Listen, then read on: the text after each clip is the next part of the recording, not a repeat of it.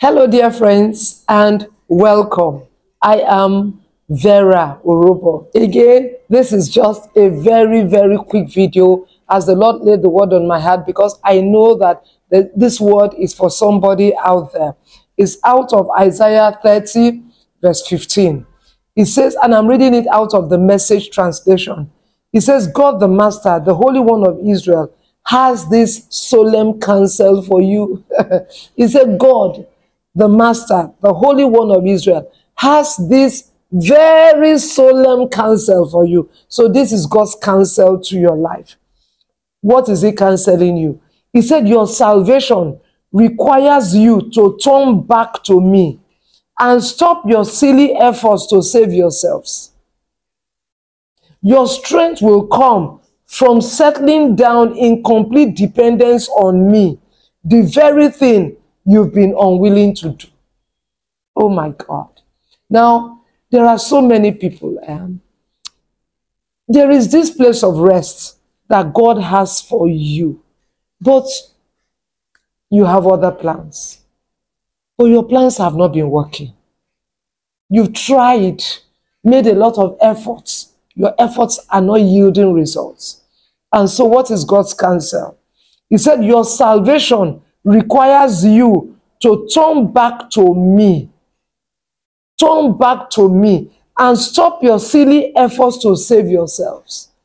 You see how God describes some of your efforts? Eh? Say they are silly efforts. You've tried it this way, you tried it this way. When it comes to relationship, you tried it your own way. It no work. God said, why don't you stop all of those silly efforts?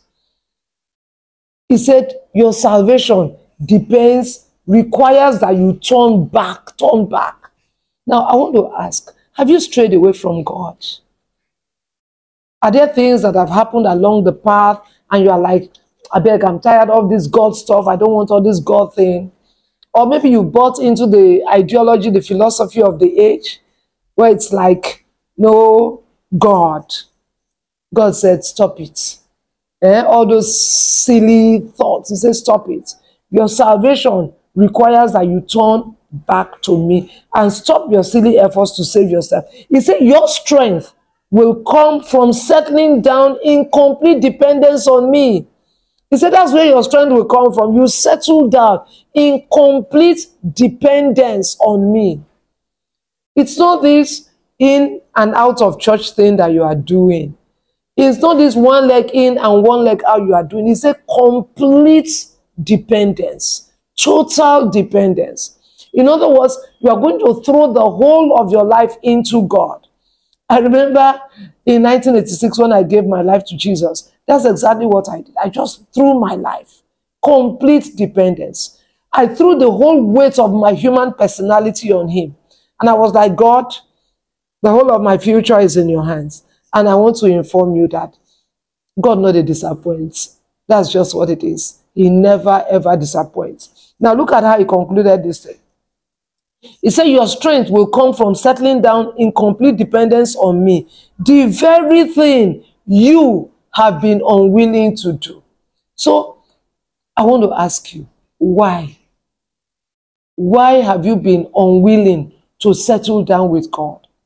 And here, God is coming again, asking me to ask you, why are you finding it difficult to, to just throw the whole weight of your human personality on God? You know what it says? It says, trust in the Lord with all your hearts. Don't lean to your own understanding. In all your ways, acknowledge Him and He will direct your path. Stop running up and down. Stop going here and there. God has an awesome plan for you.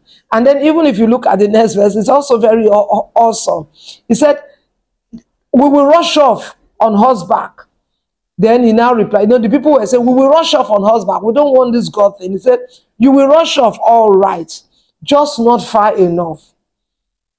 You said, we will rush, we will ride off on fast horses. Then the question is, do you think that your pursuers are riding old nags?